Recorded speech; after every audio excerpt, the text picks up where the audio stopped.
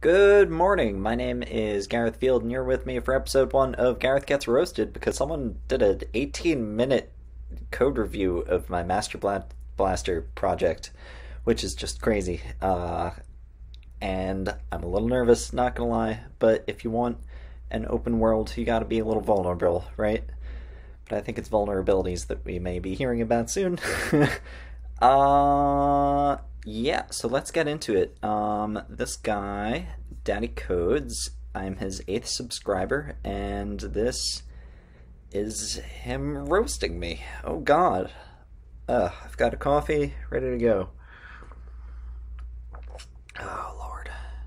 Oh, and I will be bopping along to uh, Joji's Nectar album if you want to bop along with me, starting right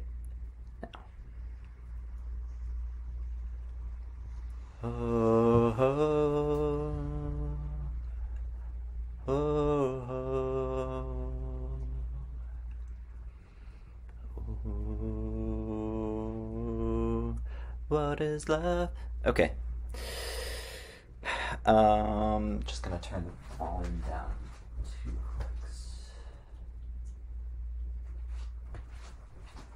Oh god. Okay, I've got my code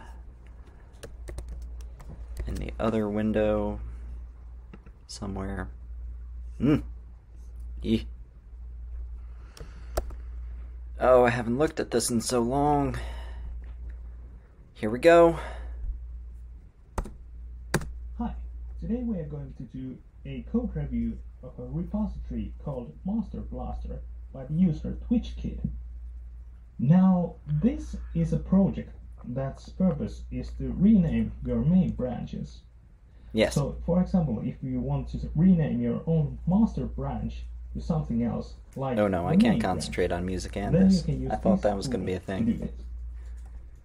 Do it. But the most obvious thing when you look at the code and the README and whatnot is that there are lots of these kind of warnings. Warning: this is not guaranteed to work. Uh.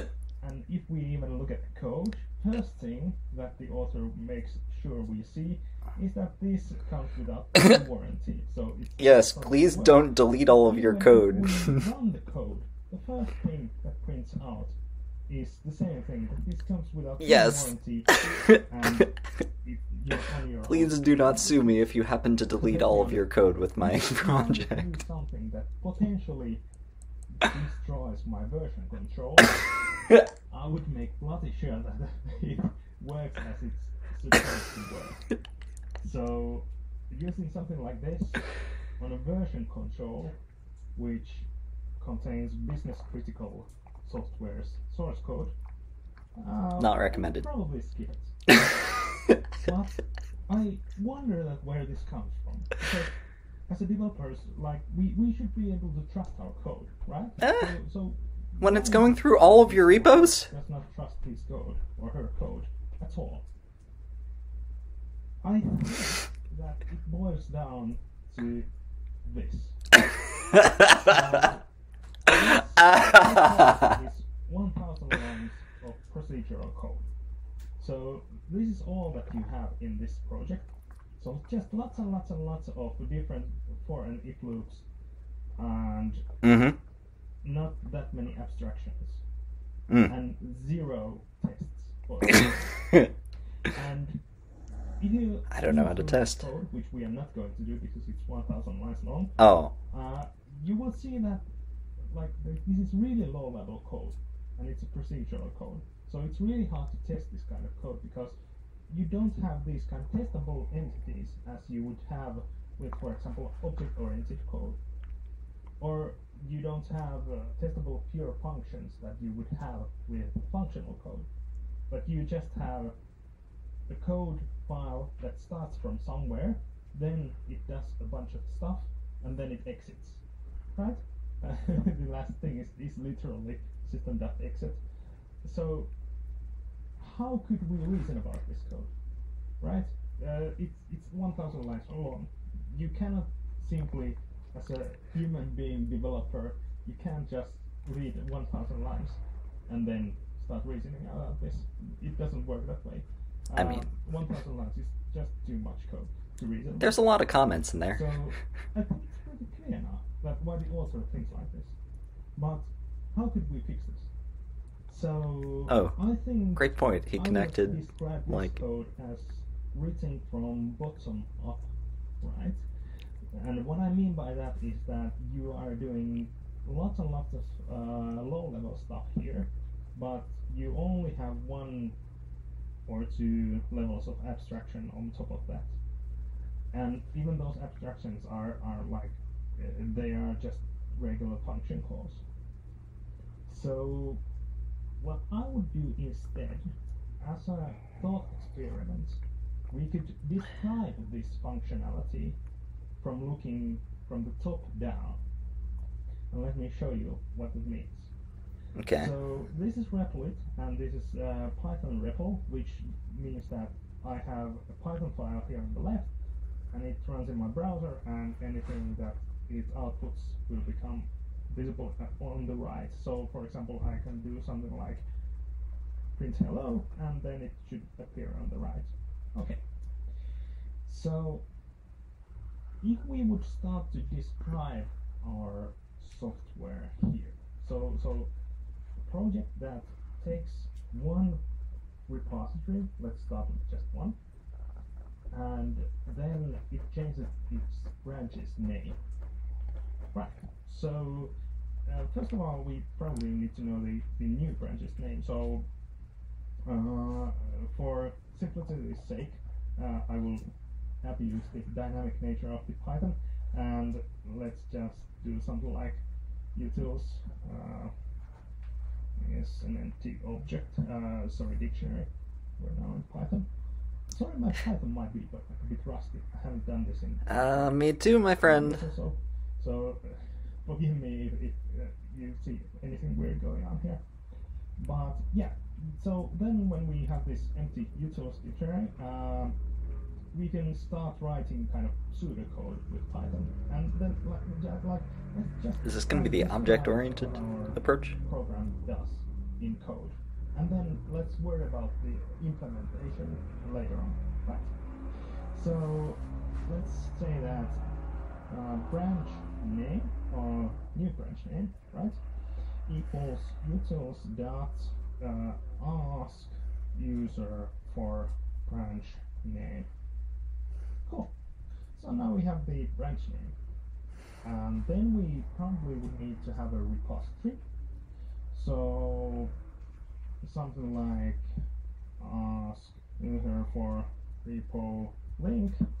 If we assume that the repository is now some kind of object that we can use, then we could do something like repo dot change no main branch name, and then we give it the new branch name. Right. So this pretty much describes everything that we want to do, and it's just well basically three lines of code. So this amount of code is really easy to reason about. Right. We have a couple of functions with pretty clear names. Of course, naming can be also always better, but but I suppose this gets the point through.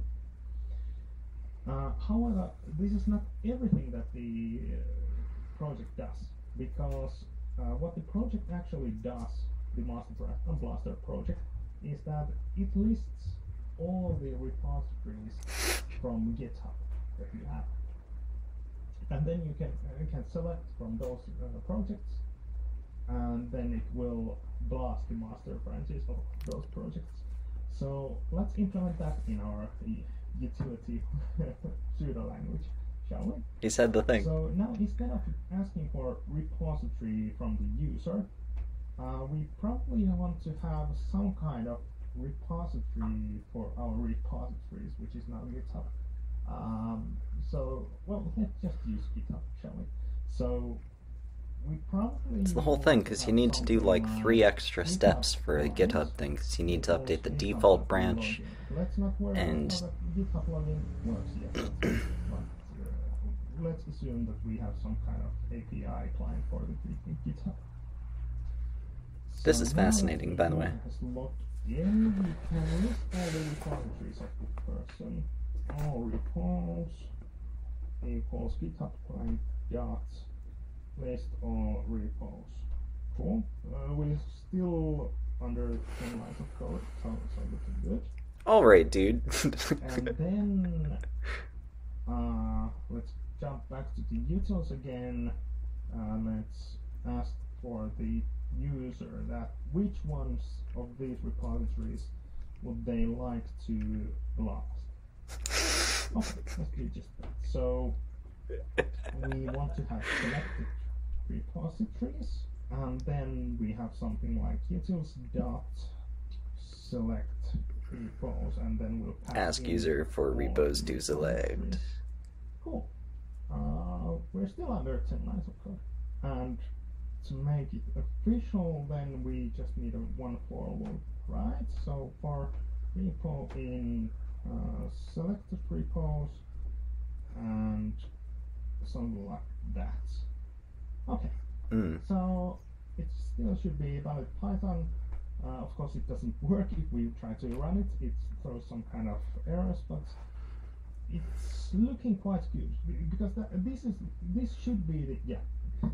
I, I ran it, it. It crashed because the, the object uh, object doesn't have the as for brand name, so which is the first from the users, just as we expected. But uh, still, this amount of code is something that we can reason about. Uh, this reads quite well, and if this would be kind of the main file of the project, I would be delighted. Uh, one thing I almost forgot is that the Master Blaster current project it handles both your local Git repositories and your GitHub's remote repositories. So then we can't just just assume that that we have the GitHub here. Uh, so let's Yes, it's quite complex. Yeah. I would think that instead of like having one code that goes first to your local repositories and then goes to your online repositories in GitHub, for example, they are just repositories, but they are located in different places.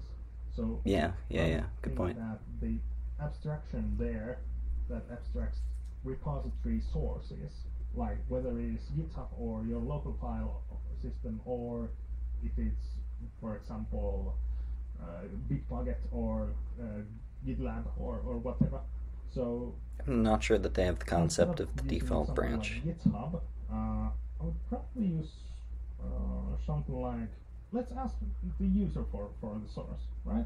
So repository source is utils.asUser for repo source. And let's use just repo for short. Yeah, so then we can the uh, GitHub and then we can do the login towards the repo source and then this would be something like repo clients, right? Now you're still with me. So so let's go through this line by line. Uh, we first ask for the branch name, right? Then we ask for the repository source. So whether you want to blast your local branches or GitHub branches to begin with, for example. Then way too much coffee. Kind of login Uh, or configure, for example, because if you're a lo- if you have local repositories, then you probably want to just select the folder which contains all of your local repositories, and if it's the remote one, which would be GitHub, then you probably want to log in and do stuff like that. So so we use something that describes both of them, which would be something like configure. That returns a repository client for us. Uh, then we list all the repositories, so this would be kind of an abstract client, which can be either your local client or the remote one. It lists all the repositories, and then we ask the user the to select the wanted repositories. Mm, uh, we could probably optimize it by passing in the branch name to like like remove the repositories that already have that named branch. But anyways, that could be done later on. And then uh, from the select repositories, we just loop that through, and then do the oh yeah. So we don't need, even need this one anymore. So we're back to under ten lines of code Nice. to describe the whole functionality of our uh, system, and this is basically the beef of our system. So everything that we do boils down to this line of code, right? So so we change the branch. That's the most important thing here. Uh, utils, uh, of course, this, this is rather like bad naming. Don't ever use just this thing called utils. Uh, this Whoops. would be user input or something like that. So because all of these functions are asking for user input, right? So now we would have one module that handles the user input. We could mock the user's input and and then uh, find out ways to, to answer this question, for example, in a predictable way. I think the thing that was used here, it was called something like question. Questionary. Yeah, yeah. Uh, questionary. Yeah. So I think this project had pretty well defined tests too. So where can I go to GitHub? Um, tests, and then test prompt or something like that. Uh, questionary prompt. blah, blah, blah. Uh, so yeah. So I think this repository pretty well has means of testing the user's input and then kind of checking what what it does with the input by giving the input using a test. Like like you don't need to manually type in the input in these tests. So you want to test this kind of user input, uh, you can check how this repository does it. Another thing he- here is that we have the abstract repository source, and this repository source is again something that you can write tests against. Uh, you can probably test all of this with mocked uh, or faked repository sources and faked user input just to just to make sure that it works the way you are supposed to. Since you have under 10, li- uh, 10 lines of code, it's pretty easy to even as a human being to assess that this is working as it should be, right? We get kind of the good features of object-oriented programming by using this kind of approach to our coding. Because then we can start mocking or taking these uh, objects that, that we have here and then bit by bit work our way towards uh, a working complete system. But if you have if you have functions or procedures, so to speak, that are only 10 lines long, then it's much much easier to reason about them and to assess that these things do what we intend them to do. A quick end note, git commit history, just to point it out. Oh no, this guy's git history, commit messages pretty well. Uh, you can check the previous uh, YouTube video for uh, how to write a, a good git commit message. But just to point out, uh, this kind of uh, git commit message points out that you're probably just hacking things together and not worrying so- so much about any kind of readability or, or maintainability because this this kind of looks as messy as the code that that's in the bin folder. Oof. But all in all, uh, I think uh, the cause and the idea behind this project is really good, and you should uh, definitely check it out. Well, thank you. This is all I have for you today. Uh, if you have any comments, and especially if you disagree with me, please leave a comment below because I love to be wrong and I love to learn new things. If you like this video, please subscribe and have a nice day and happy coding. That was so awesome. Oh man. Wow. That guy was so nice. And he was right. It was all a mess. That was a really good idea for cleaning it up and way of thinking about it. And I learned so much right then. And I need to rewrite my program. um Wow. Whoa.